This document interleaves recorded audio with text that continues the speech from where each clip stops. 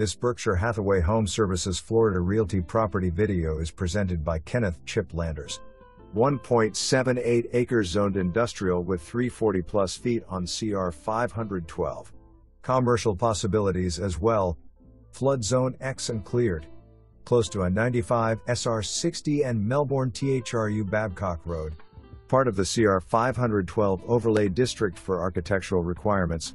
City leaders and government officials very good to work with for incoming commercial ventures. For more information, review the details below.